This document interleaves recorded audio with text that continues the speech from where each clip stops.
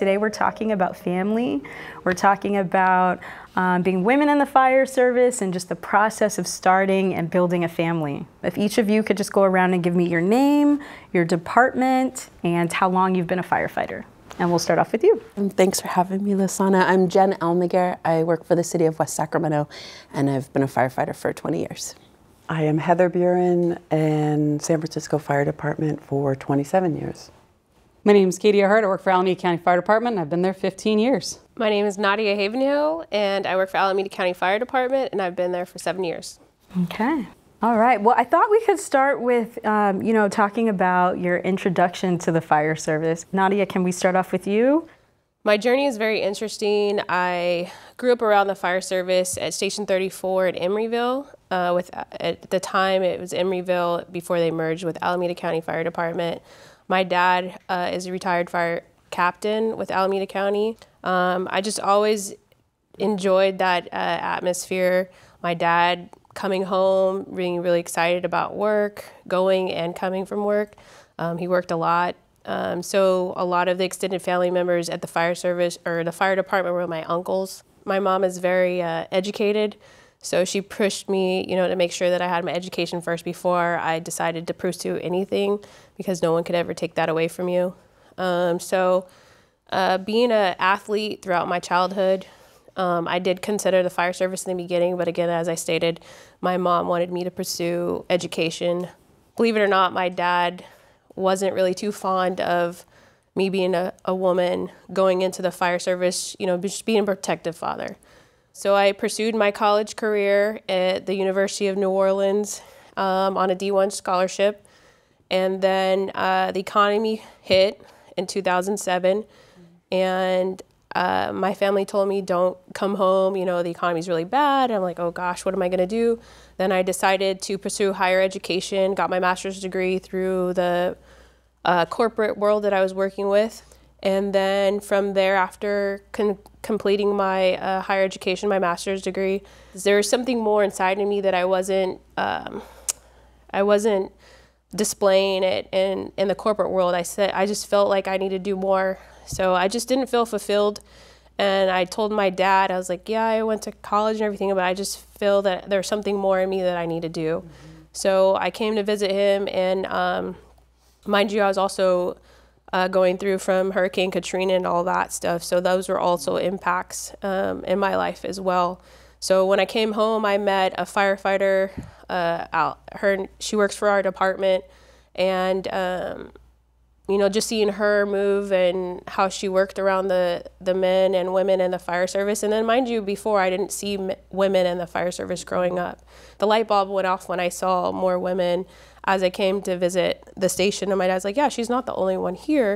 And I was like, Really? And then after speaking with her, she, you know, motivated me. She's like, you know, it's never too late. Go ahead and pursue it. So after I went back and flew back to New Orleans, I decided to start pursuing the fire service. And then um, here I am.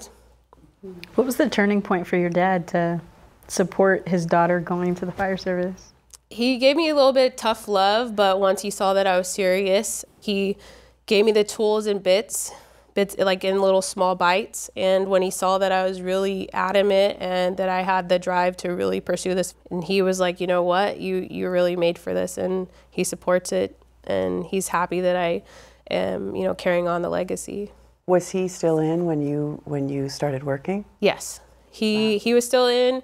Well, he retired uh, probably a few months pr- uh, prior to I got before I got online. Okay. But he did. Uh, they did allow him to come with me on one of my days, concluding my 90 day nice. online.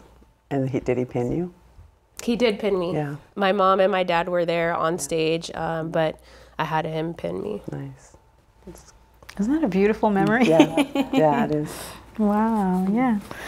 Katy, how about you?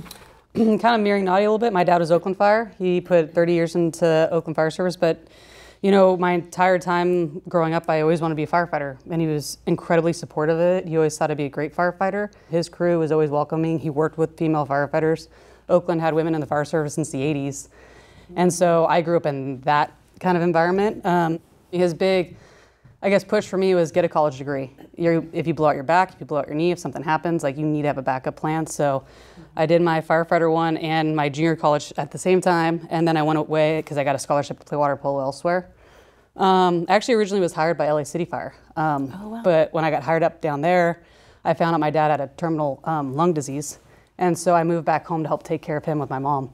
He really wanted me to take the job in LA. He's like, I'll move my treatments down there, move the family down there. I was like, no, like, we're gonna come back up here. You've supported us your entire life. I'm supporting you. And the cool thing was is that um, Alameda County, Aisha Knowles brought me into that family, and she really mentored me and helped me get hired on with the reserve program, get me hired on with the department. And my dad was able to be there when he pinned my badge on me, and that was like the motivation. All I needed for every brutal day at the academy was like he will be there. And so he held on for a couple years, saw me promote through the ranks of engineer. Unfortunately, he passed away right before our wedding. But he just, you know, my dad was my number one um, supporter. But it was kind of interesting to see that dynamic between him and my mom because they've been married forever. And my mom was always the rock. You know, she always, he was always, you know, he was Oakland Fire, like very much so. And if anyone knows what I'm talking about, like those are just a certain breed. But my mom was just always like that rock that always kind of kept us in line and not made us do anything too crazy.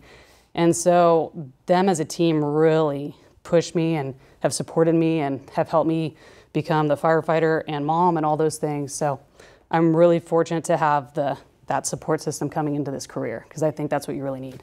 Yeah. Thank you for, for sharing that. Oh, yeah, absolutely. And shout out to Aisha. oh, she's a girl. Indeed, we love Aisha. And how about you? I never saw a woman firefighter growing up. Went to school at UC Davis. It was the pressure I put on myself. You have to get a college degree because you don't quite know what you want to do yet. Um, I did know that I wanted to help people, even though that's a bit cliche to say. Didn't know quite in what way. Um, so I went to UC Davis to study psychology and human development. Sophomore year ish, there was an advertisement in the hallways at, on campus for a. Um, for the Mendocino National Forest for a, a hand crew, a Type 2 hand crew. And I was like, huh, I can do that. You know, I was I grew up playing sports. I played soccer. Um, I was playing rugby at the time, um, a club sport at UC Davis. Um, so you know, I was like, I, I can hike. I, I can do that. Why not? So tried it out. Oh, and it, it paid ten bucks an hour. So I was like, oh my gosh, mom's gonna make some money this summer, hopefully. Um, but truly, uh, my first um, fire. It was a campaign fire um, it was it took us all around Nevada and Utah. We got helicopter rides to a certain part of the mountain, then we had to hike the rest of the way. You know, arduous, exciting. The the teamwork, that camaraderie, it was just so rad. I was like, oh, oh, this is what I'm gonna do. This is great. Um, for a- for a little bit of time, I thought, you know, definitely wildland firefighting. That's what I want to do. Um, I realized though, uh, even though it was a great, it was a great way to start. Um, I wouldn't be able to have a healthy family life if I was gone all summer. So I, you know, it was slowly but surely. I, I worked a couple seasons, um, graduated college in June of 02, got hired full time with the Forest Service. So uh, as a assistant um, fire engine operator, so it's engineer sometimes, firefighter the other time, uh, and it was it was great. It was great experience. But um, put myself through Butte Fire Academy. I did have a wonderful mentor who was a rugby teammate who had gone on to Butte Fire Academy, and then she got hired at Salinas Fire, and she was like, "Jen, you could totally do this. This is the way, sis." I'm like, "Okay." So, um, so went to, went through Butte. It was great, um, and then just started applying. So, that was my yeah my journey to get hired. Yeah, it was kind of like a never saw a woman do it, and then could do the wildland stuff, and then it. I, Butte was kind of the tester for me. You know, the 24 foot extension ladder generally isn't something that young women have access to unless they're they've got family members in the fire service, which I never did. Um, so yeah, I was like, oh, and I excelled there, and I felt very unstoppable at the time. So just applications in and got hired uh, with UC Davis Fire in 2004, um, and uh, worked there for about six years, and then got hired in West Sacramento in 2011. So yeah, it's been an amazing adventure thus far. Beautiful. I had done what a lot of, um, you know, everyone here was talking about, was told to get an education first, which was very important. I grew up back east and transplanted myself out here. Um, so I had already gotten an education. I went to school in Virginia. Um, I was an athlete as well. And I wanted to just get out of New England. I wanted to go west. You know, people say, why do you want to go to California? It's going to fall into the ocean. Well, I wanted to come find my fortune, you know, seek your fortune. so I did. I didn't know anybody. I packed my car up. I was 20.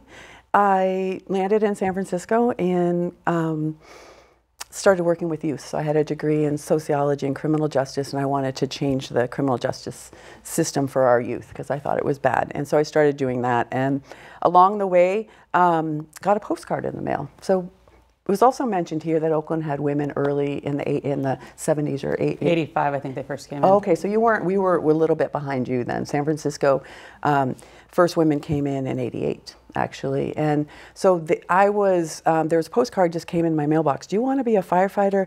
Um, and it had a picture of a woman firefighter on it. And so I was like, huh, never really thought about that. I was working in Oakland at the time with a conservation corps uh, with youth at risk, and um, I thought, well, I'm I'm strong and well, no, I'll give it a shot. Went and saw a group of women, um, firefighters, San Francisco women firefighters, talking about it. They had like an informational session that we've probably all gone and sat on panels now to talk to young women.